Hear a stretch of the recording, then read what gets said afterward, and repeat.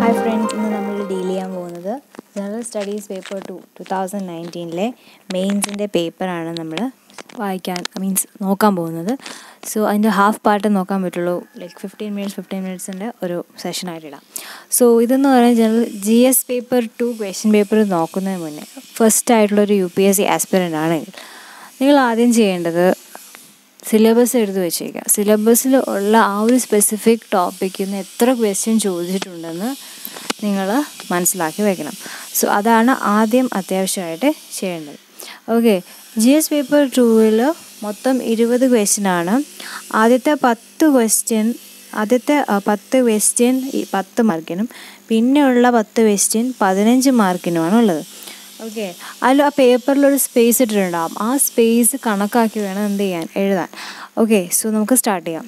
So first question എന്ന് പറയുന്നത് do you think that the constitution of India does not accept principle of strict separation of powers rather it is based on the principle of checks and balance explain so ഈ ക്വസ്റ്റ്യന് നമ്മൾ ഒരു question കിട്ടുമ്പോൾ നിങ്ങൾക്ക് part by പാർട്ടായിട്ട് analyse ചെയ്യാൻ പറ്റുമോ നോക്കാം. ഓക്കെ ഇതിന്റെ ഫസ്റ്റ് പാർട്ട് എന്താണ്? നമ്മുടെ ഒരു വ്യൂ ആണ് ചോദിച്ചിരിക്കുന്നത് constitution India strict separation of power അതായത് ജുഡീഷ്യറി എക്സിക്യൂട്ടീവ് ആൻഡ് ലെജിസ്ലേറ്റീവ് അങ്ങനെ ഒരു സെപ്പറേഷൻ ഓഫ് പവർ ഇല്ല. പക്ഷേ ചെക്സ് ആൻഡ് ബാലൻസ് എന്ന് പറയുന്ന ആ ഒരു വെച്ച് ആ ഒരു തൂ അളവ് കോണ് വെച്ചിട്ടാണ് ഡീൽ ചെയ്യുന്നത് എന്നാണ് പറഞ്ഞിരിക്കുന്നത്. അങ്ങനെയാണോ അല്ലയോ? അങ്ങനെയാണെങ്കിൽ അങ്ങനെ അല്ലെങ്കിൽ അല്ല അത് വെച്ചിട്ട് എക്സ്പ്ലെയിൻ ചെയ്യണം. നമ്മുടെ ആ ഒരു ആർഗ്യുമെന്റ് എക്സ്പ്ലെയിൻ ചെയ്യണം. ഓക്കെ സോ അത് ഒരുപാട് കാര്യങ്ങൾ പറയും. ഇപ്പോഴത്തെ ഒരുപാട് കാര്യങ്ങൾ പറയാൻ സാധിക്കുന്നതാണ്. പിന്നെ വേണമെങ്കിൽ ലാസ്റ്റായിട്ട് ഇങ്ങനെയും പറയാം. ഇപ്പോൾ സ്ട്രിക്റ്റ് ബാലൻസ് ഉണ്ടെന്ന് പറയുന്നവർക്ക് പറയാം. സ്ട്രിക്റ്റ് ബാലൻസ് കാണിക്കുന്നുണ്ടെങ്കിൽ പോലും ഇടയ്ക്കൊക്കെ അവരവരുടെ സ്പിയർ വിട്ടിട്ട് അവർ ചെയ്യുന്നുണ്ട്. പക്ഷെ ചിലപ്പോൾ ലിമിറ്റ് കടന്നും ചെയ്യുന്നുണ്ടെന്നും പറഞ്ഞ് എൻഡ് ചെയ്തിട്ട്. പക്ഷേ ഒരു നല്ലൊരു സ്റ്റേബിളായിട്ടൊരു ഫോം ഓഫ് ഡെമോക്രസിയാണ് നമ്മുടെ എന്ന് പറഞ്ഞ് നിർത്താം. ഓക്കെ സോ അങ്ങനെ ഒരു വേ ഫോർവേഡ് വെച്ച് നിർത്താം. അടുത്ത question the central administrative tribunal which was establish for redressal of governance and complaints by or again central government employees nowadays is exercising its powers as an independent judiciary authority explain so ഇത് purely factual question ആണ്.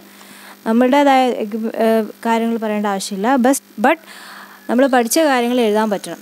Central administrative tribunal tribunals എന്ന് പറഞ്ഞിട്ട് syllabus കൊടുത്തിട്ടുള്ള ഒരു portion തന്നെയാണത്. Okay so നമ്മുടെ syllabus full cover ചെയ്യുക. പഠിക്കുന്ന ഏതൊരു എക്സാം ആണെങ്കിലും അതിനെ സിലബസ് ഫുൾ കവർ ചെയ്ത് പഠിക്കുക. യു പി എസ് സി പ്രത്യേകിച്ച് സിലബസ് നല്ലോണം പഠിച്ചു വെച്ചേക്കുക. ബിക്കോസ് സിലബസിൽ നിന്ന് ഓരോ അണു വിട വിടാതെ അവർ ക്വസ്റ്റ്യൻ ചോദിക്കും. ഓക്കെ സോ സെൻട്രൽ അഡ്മിനിസ്ട്രേറ്റീവ് ട്രൈബ്യൂണലിലെ കാര്യമാണ് ചോദിച്ചിരിക്കുന്നത് ഓക്കെ പിന്നെന്താ?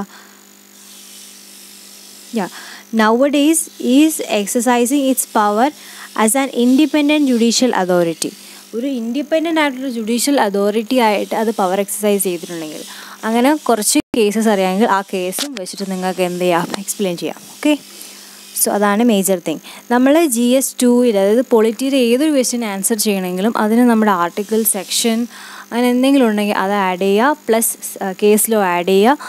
അത് ഇത്രയും ആഡ് ചെയ്യുമ്പോൾ നമുക്ക് എന്ത് കിട്ടും? നമുക്ക് കുറച്ച് പോയിന്റ്സ് എക്സ്ട്രാ കിട്ടും. ഓക്കെ അത് ജി എസ് ടു പേപ്പർ ആണെന്ന് തോന്നുന്ന തരത്തിലായിരിക്കും. ഓക്കെ അടുത്ത ക്വസ്റ്റ്യൻ എന്ന് വെച്ചാൽ what are the methods use by farmers organisations to influence the policy makers in India and how effective are this method അപ്പോൾ ഒരുപാട് കിസാൻ ശക്തി ശങ്കതൻ എന്ന് പറഞ്ഞ ഒരുപാട് ഓർഗനൈസേഷൻസ് നമ്മൾ പത്രത്തിൽ വായിക്കുന്നതാണ്.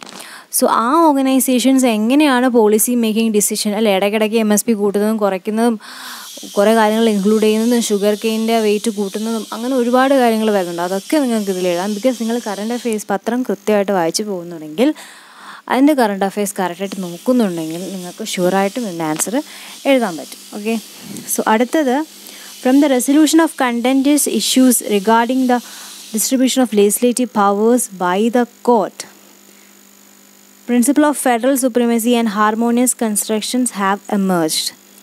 Explain so ഇതിൽ രണ്ട് മേജർ പ്രിൻസിപ്പിളാണ് പറഞ്ഞിരിക്കുന്നത്. ഫെഡറൽ സുപ്രീമസിയും ഹാർമോണിയസ് കൺസ്ട്രക്ഷനും ഇത് രണ്ടും ഏതിലാണ് വരുന്നത്? നമ്മുടെ സ്റ്റേറ്റ് ലിസ്റ്റ് സെൻട്രൽ ലിസ്റ്റ് അവരെ ലെജിസ്ലേറ്റീവ് പവറിന്റെ ആ ഒരു ഇതിലാണ് വരുന്നത്. ഓക്കെ അപ്പോൾ പ്രിൻസിപ്പിൾ ഓഫ് ഫെഡറൽ സുപ്രീമസി എന്ന് വെച്ചാൽ ഏതൊക്കെ ലോ സ്റ്റേറ്റ് തന്നെ ഉണ്ടാക്കിയാലും ആ ലോയിനൊക്കെ മേലെ ആയിരിക്കും ആരുടെ ലോ? സെന്ററിന്റെ ലോ. ബിക്കോസ് നമ്മുടെ ഒരു സ്ട്രോങ് സെന്ററാണ് ഫെഡറൽ സ്ട്രോങ് സെൻട്രലാണ് ഓക്കെ ഹാർമോണിയസ് കൺസ്ട്രക്ഷൻ എന്ന് വെച്ചാൽ ഇപ്പോൾ രണ്ട് രണ്ട് എന്താ പറയുക സ്റ്റേറ്റും സെന്ററും ഒരുപോലെ നിയമം ഉണ്ടാക്കുകയാണെങ്കിൽ അപ്പോൾ അങ്ങനെ അങ്ങനെ നിയമം ഉണ്ടാവുകയാണെങ്കിൽ അപ്പോൾ ഏതാണോ അതിൽ കൂ അതായത് ഹാർമോണിയസ് ആയിട്ടാണ് പോകുന്നത്. അതായത് സെന്ററിന്റെ ആ ഒരു എന്താ പറയുക ആ ഒരു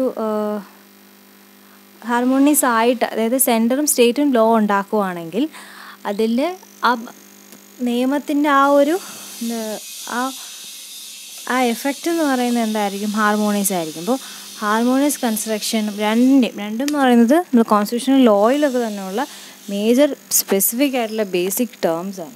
ഓക്കെ അപ്പോൾ നിങ്ങൾ ചെയ്യേണ്ടത് കോൺസ്റ്റിറ്റ്യൂഷണൽ എന്താ പറയുക constitutional terms basic theories behind constitution അത് കുറച്ചുകൂടെ നോക്കണം. അത് വരുന്നത് നമ്മുടെ ഒരുപാട് ഗവേണൻസ് ഇൻ ഇന്ത്യ എന്ന് പറയുന്ന ആ ടെക്സ്റ്റ് ബുക്കിൽ കുറച്ച് നല്ല ഇൻ ഡെപ്തായിട്ട് പറയുന്നുണ്ട്. സോ അത് രണ്ടുമാണ് ചോദിച്ചിരിക്കുന്നത്. ഓക്കെ ബേസിക്കലി ഇത് സ്റ്റേറ്റ് സെന്ററിന്റെ നിയമം ഉണ്ടാക്കുന്നതിനെ ബേസ് ചെയ്തിട്ടുള്ള ഒരു കണ്ടൻഷൻ ആണ്. അത് ജുഡീഷ്യറിയാണ് ഇങ്ങനത്തെ രണ്ട് സംഭവങ്ങൾ ഉണ്ടാക്കിയിരിക്കുന്നത്. അതായത് ഹാർമോണിയസ് കൺസ്ട്രക്ഷൻ ആയിരിക്കണം. ഓക്കെ അതായത് സെന്റർ ഉണ്ടാക്കുന്ന ഏതെങ്കിലും ഒരു ഏതൊരു ലോയിനായാലും അതിന്റെ കൂടെ തന്നെ പോകുന്ന ലോ ആയിരിക്കും അതിനെ എതിർത്തൊരു ലോയും സെൻട്രിൽ സ്റ്റേറ്റിൽ നിന്ന് വരാൻ പാടില്ല. മനസ്സിലായി?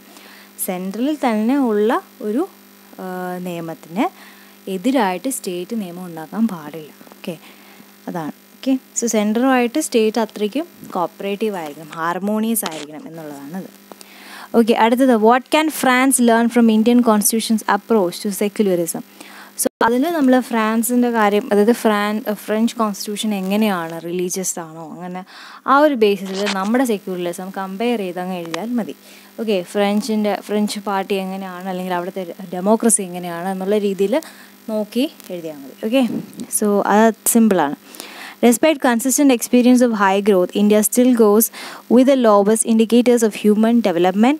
Examine the issues that make balanced and inclusive development elusive. So consistent experience നമുക്ക് ഹൈ ഗ്രോത്തും ഹൈ ഗ്രോത്താണ് എപ്പോഴും നമുക്കുള്ളത് അല്ലേ? One of the fastest growing economy in the world അപ്പോൾ അങ്ങനെ ആവും അങ്ങനെ ആയിരുന്നിട്ട് പോലും നമ്മുടെ ഇൻഡിക്കേറ്റേഴ്സ് ഓഫ് ഹ്യൂമൻ ഡെവലപ്മെന്റ് അല്ലേ? മെറ്റേണിറ്റി മെറ്റേണിറ്റി മോർട്ടാലിറ്റി റേറ്റ് ആയാലും ഇൻഫാന്റിസൈഡ് ഡെത്ത് റേറ്റ് ആയാലും അങ്ങനെ എന്ത് റേറ്റ് ആയാൽ പോലും അതിലൊക്കെ എന്ത് സംഭവിക്കുകയെന്ന് വെച്ചാൽ നമ്മൾ വളരെ ലോയിലോട്ടാണ് ലോ ലോ ആണ്. ഈവൻ എഡ്യൂക്കേഷന്റെ സ്പെസിഫിക് ക്രൈറ്റീരിയാസിൽ പോലും നമ്മൾ വെരി ലോ ആണ്. സോ എന്ത് എങ്ങനെ നമുക്ക് ഇങ്ങനൊരു ബാലൻസ്ഡ് ആൻഡ് ഇൻക്ലൂസീവ് ഡെവലപ്മെന്റ് കൊണ്ടുവരാം എന്നുള്ളതാണ്. ഓക്കെ സോ എന്തൊക്കെ ഇഷ്യൂസാണ് കറണ്ട് ആയിട്ടുള്ളത്? സോ മേജറായിട്ട് നിങ്ങൾ ഇഷ്യൂസ് വേണം പറയാൻ. ഫസ്റ്റ് നിങ്ങൾ ഇത് സ്റ്റാർട്ട് ചെയ്യേണ്ടത് നമ്മൾ ഇത്ര ഗ്രോത്ത് റേറ്റ് ആണുള്ളതെന്നും പറഞ്ഞ് സ്റ്റാർട്ട് ചെയ്ത് ഇഷ്യൂസും പറഞ്ഞ് വേ ഫോർവേഡും പറഞ്ഞ് തീർക്കുക. ഓക്കെ സോ നമ്മൾ എങ്ങനെ ആൻസർ എഴുതുന്നു എന്നുള്ളതാണ് ഡിഫറൻസ് വരുന്നത്. Okay there is a growing divergence in relationship between T and hunger in the India the shrinking of social expenditure by government is forcing the poor to spend more on non-food essential items, squeezing their food budget. Elucidate so elucidate എന്ന് പറയുമ്പം അതിനുള്ള എല്ലാ കാര്യങ്ങളും ഉൾപ്പെടുത്തി വേണം പറയാൻ. Okay അപ്പോൾ എല്ലാ കാര്യങ്ങളും ഉൾപ്പെടുത്താൻ വേണം. വെറും പത്ത് മാർക്കുള്ള ആൻസറുമാണ് സോ അവിടെയാണ് നമ്മുടെ ശരിക്കുമുള്ള റിയൽ ഫൈറ്റ് ഓക്കെ സോ ഇതിൽ ഒരുപാട് കാര്യങ്ങളുണ്ട്. There is a growing divergence relationship between poverty and hunger ഹങ്കറിന്റെയും പോവേർട്ടീന്റെയും ഒരു ഡൈവേർജൻസ് ആൻഡ് റിലേഷൻഷിപ്പാണ് ചോദിച്ചിരിക്കുന്നത്. പിന്നെ എന്താണ്? The shrinking of social expenditure by the government is forcing the poor to spend more on non food essential items അപ്പോൾ നമ്മുടെ പൂവേഴ്സിന് അവർക്ക് ശരിക്കും പറഞ്ഞാൽ ആഹാരം കഴിക്കാൻ പോലുള്ള വകയില്ല. അപ്പോൾ ആ ഉള്ളത് തന്നെ ഭയങ്കര റേറ്റും കൂടുതലാണ്. മാത്രമല്ല വെൽഫെയർ ഫണ്ടിങ് അല്ലെങ്കിൽ സോഷ്യൽ ഫണ്ടിങ് എന്ന് പറയുന്നത് വളരെ കുറവാണ്. സോ അങ്ങനെ ഒരു ഏരിയ വരുമ്പോൾ തന്നെ എന്ത് സംഭവിക്കുമെന്ന് വെച്ചാൽ നമ്മുടെ എന്തുകൊണ്ട് അങ്ങനെ ഒരു സംഭവം വരുന്നു? ഓക്കെ മാത്രമല്ല എങ്ങനെ നമുക്കിത് കൂടുതൽ എന്താ പറയുക ഇൻക്ലൂസീവ് ആക്കാം? ഇൻക്ലൂസീവ് എന്ന് എല്ലാ സ്ട്രാറ്റിലുള്ള ആൾക്കാരെയും ഡെവലപ്മെന്റ് എത്തിക്കാം. ഡെവലപ്മെന്റ് എത്തിക്കുക എല്ലാവർക്കും നല്ല ആഹാരം കൊടുക്കുക എല്ലാവർക്കും നല്ല ന്യൂട്രീഷൻ കിട്ടുക അങ്ങനത്തെ കാര്യങ്ങൾ എങ്ങനെ കൊണ്ടുവരാം എന്നുള്ളതാണ്. ഓക്കെ സോ അത് വേണം അതിലെഴുതാൻ. ഇത് മാത്രമല്ല നിങ്ങളുടെ മൈൻഡിൽ വരുന്ന എന്തൊരു തോട്ട് പ്രോസസ്സും ഇതിന്റെ കൂടെ വരുന്നത് എന്തും നിങ്ങൾക്ക് പരീക്ഷയ്ക്ക് എഴുതാം ഓക്കെ സോ അടുത്തത് implementation of information and communication technology based on projects and programmes usually suffers in type of terms of certain vital factors. Identify these factors and suggest measures for the effective implementation. So നമ്മുടെ I C T information and communication technology based ആയിട്ടുള്ള പ്രോജക്ട്സും പ്രോഗ്രാമും അതിപ്പോൾ ഒരുപാടുണ്ട് അല്ലേ നമ്മുടെ അക്ഷയ കേന്ദ്രങ്ങൾ പോലെ കമ്മ്യൂണിറ്റി സെന്റർ പോലെ അങ്ങനെ ഒരുപാടുണ്ട്. അപ്പോൾ അങ്ങനെ ആകുമ്പോഴത്തേക്ക് ഒരുപാട് വൈറ്റൽ ഫാക്ടേഴ്സ് അത് മിസ് ചെയ്യുന്നുണ്ട്. ഓക്കെ അതെന്തൊക്കെയാണ്? എങ്ങനെ അത് എഫക്റ്റീവായിട്ട് ഇംപ്ലിമെന്റ് ചെയ്യാം? എങ്ങനെ എഫക്റ്റീവായി ഇംപ്ലിമെന്റ് എല്ലാ കേസ് ചിരിച്ചിട്ടുണ്ടെങ്കിൽ ചേർത്ത് എഴുതുക. അത് വളരെ ഇമ്പോർട്ടന്റ് വളരെ ഈസിയാണ് ബിക്കോസ് ഇത് കറക്റ്റ് ഡയറക്റ്റ് സിലബസിൽ നിന്ന് ചോദിച്ചിരിക്കുന്ന ക്വസ്റ്റ്യൻ ആണ്. ഓക്കെ സോ അടുത്തത്. The time has come for India and Japan to build a strong contemporary relationship on involving global and strategic partnership that will have a great significance for Asia and world as a whole so ഇത് നമ്മൾ എപ്പോഴും പ്രതീക്ഷിക്കേണ്ട ഒരു ക്വസ്റ്റ്യനാണ് because almost ഒരു എന്താ പറയുക U S centric എന്ന് മാറി കുറച്ചുകൂടെ ഇൻഡോ പെസഫിക് സെൻട്രിക് ആയിട്ട് മാറിയിരിക്കുകയാണ് എന്താ വേൾഡിന്റെ ആ ഒരു അല്ല ജിയോ പൊളിറ്റിക്കൽ ഇഷ്യൂസ് എല്ലാം. സോ അങ്ങനെ വരുമ്പോൾ എങ്ങനെ ഇന്ത്യയും ഇന്ത്യയാണ് one of the most stable country with no biasing അല്ലേ? അങ്ങനെ ബയാസിങ് ഒന്നും ഇല്ലാത്ത രീതിയിൽ എപ്പോഴും ഒരു ഫേമായിട്ട് സ്റ്റാൻഡ് നിൽക്കുന്ന കൺട്രിയാണ് ഇന്ത്യ. അതുപോലെ നിൽക്കുന്ന ഒരു കൺട്രിയാണ് ജപ്പാൻ. സോ അപ്പോൾ ഇന്ത്യയും ജപ്പാനും കൂടെ തമ്മിലുണ്ടാകുന്ന ആ ഒരു സ്ട്രെങ്ത് ആ ഒരു ബോണ്ടിങ് എങ്ങനെ നിലനിർത്താം? അതുകൊണ്ട് എങ്ങനെ നമുക്ക് എന്ത് മാറ്റാം? ഒരു സ്ട്രാറ്റജിക് പാർട്ട്ണർഷിപ്പ് കൊണ്ടുവരാം. അങ്ങനെ വേൾഡിന് മൊത്തം എങ്ങനെ ഒരു ഉപയോഗം ഉണ്ടാവാം എന്നുള്ളൊരു രീതിയിലുള്ള ക്വസ്റ്റ്യനാണ് ഇത് ഡയറക്റ്റായിട്ട് നമ്മൾ ഞാൻ ഹിന്ദു എഡിറ്റോറിയലിൽ വായിച്ച ഒരു സംഭവമാണ്. സോ ഉറപ്പായിട്ടും ഹിന്ദു എഡിറ്റോറിയൽ വായിക്കുക. ഓക്കെ ഹിന്ദു എഡിറ്റോറിയൽ എന്ത് വില കൊടുത്തും വായിച്ചിരിക്കുക I Dr know about another അനത് വേറെ ന്യൂസ് പേപ്പറിനെ പറ്റി എനിക്കത് ധാരണയില്ല. പക്ഷേ ഹിന്ദു ന്യൂസ് പേപ്പറിൽ ഞാനത് വായിച്ചായിരുന്നു. ഓക്കെ സോ അത് ഇമ്പോർട്ടന്റ് ആണ്. അടുത്തത് too little cash too much politics leaves UNESCO fighting for life discuss discuss the statement in the light of US withdrawal and its accusation of cultural body as being anti Israel bias Okay. So ഇത് U യുനെസ്കോയുടെ ആ ഒരു എന്താ പറയുക UNESCO എങ്ങനെയായിരുന്നു past തൊട്ട് present വരെ വേണമെങ്കിൽ പറയാം. എങ്ങനെ അവർക്ക് ആ ഫിനാൻഷ്യൽ ഫണ്ടിങ് പോകുന്നതെന്ന് പറയാം. എങ്ങനെ കൺട്രീസ് അതിന് കോപ്പറേറ്റ് ചെയ്യുന്നതെന്ന് പറയാം. പിന്നെ എന്താ പറയുക യു എസ് എന്തുകൊണ്ട് അതിൽ നിന്ന് വിഡ്രോ ചെയ്തെന്ന് പറയാം. യു എസ് വിചാരിക്കുന്നത് വെച്ചാലുണ്ടല്ലോ അത് അവരുടെ ഒരുപാട് നാശം അവർ ഒരുപാട് അവരുടെ കൺട്രി ഒരിക്കലും യുനെസ്കോയുടെ അണ്ടറിൽ വരില്ല. സോ അപ്പോൾ അവർക്ക് എന്തിനാ ചുമ്മാ ഇങ്ങനെ ഫണ്ട് ചെയ്യുന്നത്? അവർക്ക് ഉപയോഗമില്ലല്ലോ എന്ന് പറയുന്ന ഒരു മുടന്ത ന്യായമാണ് അപ്പോൾ അതുകൊണ്ടാണ് യു എസ് വിട്ടിട്ട് പോയത് അപ്പോൾ യു എസ് അതിൽ നിന്ന് മാത്രം ഒരുപാട് ഓർഗനൈസേഷനിൽ നിന്ന് വിട്ടിട്ട് പോയിട്ടുണ്ട്. അപ്പോൾ നമുക്ക് അതും പറഞ്ഞ് ഇതും പറഞ്ഞ് അതിനകത്ത് സ്ട്രോങ് പോയിന്റായിട്ട് പറയാം. സ്ട്രോങ് ആയിട്ട് പറയാം. ബിക്കോസ് അത് നടക്കുന്ന കാര്യമാണ്. ഓക്കെ സോ അത് ഇത്രയും പറയാം. പിന്നെ എന്ത് പറയാം? യുനെസ്കോ എന്തുകൊണ്ട് ശരിക്കും പറഞ്ഞാൽ ഇങ്ങനൊരു യുനെസ്കോ യുനെസ്കോവിന്റെതായ ഒരു സ്റ്റാൻഡ് കിട്ടാൻ ചെയ്യാൻ എടുക്കാൻ പറ്റാത്ത സിറ്റുവേഷൻസിന് മുന്നേ വന്നിട്ടുണ്ടെങ്കിൽ അറിയാമെങ്കിൽ അതും എഴുതുക ഓക്കെ സോ ഇതിനെപ്പറ്റി ഒരു ധാരണ ഇല്ലാത്തവരെ എന്ത് എഴുതാം? യു എസ് ഇങ്ങനെ പോയ കാര്യങ്ങളും എന്തെങ്കിലും എഴുതി വയ്ക്കുക കേട്ടോ. ഒരു ക്വസ്റ്റനും വിടാൻ പാടില്ല ഓക്കെ അടുത്തത്. ഇതും ഡയറക്റ്റ് ഫ്രം ദ എന്തുവാണ്? Next question also direct from the syllabus ആണ്.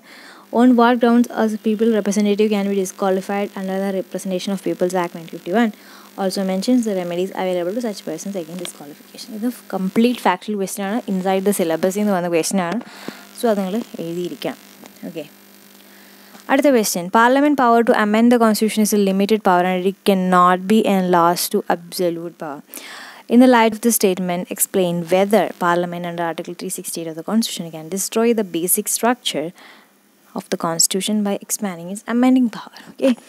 so article three sixty eight പരമായിട്ടുള്ള ആ പവർ നിങ്ങൾ അറിഞ്ഞിരിക്കണം. അതിന്റെ ബേസിൽ പറയാം. സിമ്പിൾ ക്വസ്റ്റ്യൻ ആണ്.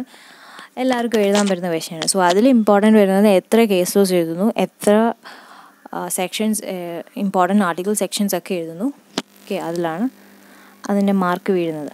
അടുത്ത question the reservation of seats for women in the institutions of local self government has had limited impact on the patriarchal character of Indian political processes comment so ഇത് നമ്മുടെ G S വണ്ണിലുണ്ട് വിമന്റെ ആ ഒരു issues അല്ലാതെ തന്നെ U P S സിക്ക് വുമന്റെ issues ചോദിക്കാൻ വളരെ ഇഷ്ടമാണ്.